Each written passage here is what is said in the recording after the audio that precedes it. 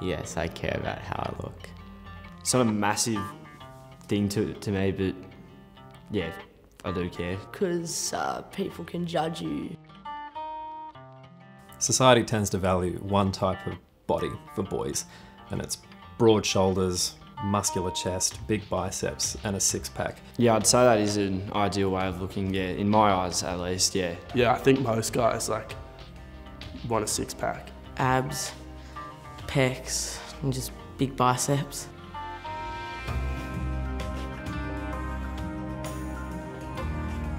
The world we live in today, there's so much going on, it definitely affects how we see our appearance. There's just this sort of like um, person in everyone's head that's like, you know, that perfect person. It can make us think, look, if I don't have the perfect body, if I'm not muscular enough or tall enough or I'm not skinny enough, that I'm not worthy. Feels like it, I don't know, most people judge people nowadays, so it sort of gets into your head. The way that I was thinking was quite consistent with the pressures that society puts on everyone. Now there's so much social media. You just want to look the best you can. Like every second guy you see now just has this good body. Go to the gym, go to the gym, go to the gym, go to the gym, and you'll achieve. It was just this constant, you don't look good enough, you don't fit in, you're fat, you're ugly, you're worthless, you're disgusting.